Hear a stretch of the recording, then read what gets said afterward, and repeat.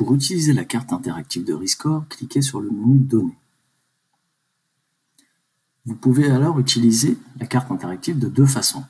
Soit en ajoutant une donnée depuis le catalogue, onglet catalogue, si cette donnée présente le bouton orangé de visualisation, comme ici, soit en allant directement sur l'onglet Carte.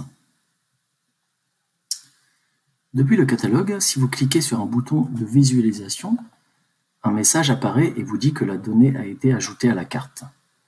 Cliquez sur l'onglet Carte pour visualiser ces données.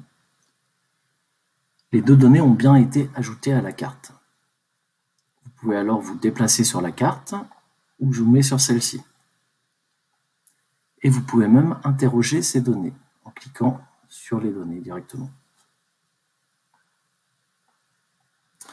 Pour ajouter d'autres données à la carte, cliquez sur le second bouton orange.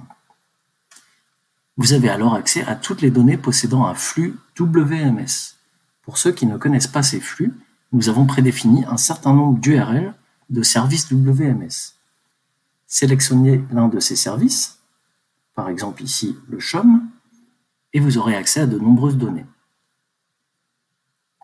Prenons par exemple ici les câbles et conduites. Vous cliquez sur la donnée et elle s'ajoute directement à la carte. Essayons avec une autre donnée, euh, la carte sédimentaire mondiale par exemple, et vous voyez qu'elle s'ajoute directement à la carte. Vous pouvez ensuite revenir sur le premier bouton orangé pour gérer vos données.